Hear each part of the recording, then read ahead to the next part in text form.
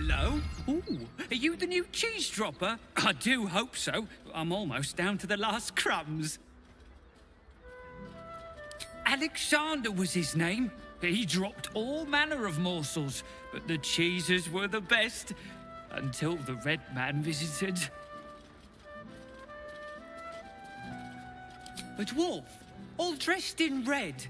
He smiled and held Alexander close, and then Alexander was shouting and struggling, and soon he was all dressed in red as well. So many red morsels fell out of Alexander. They tasted like salt and rust. Very good, even better than cheese.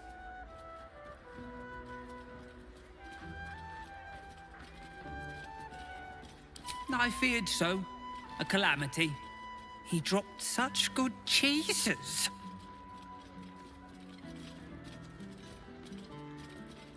Away. To make more people red and to spill their tasty morsels. Go away now. Your delicious scent makes me crave your morsels, but it would be rude to bite you.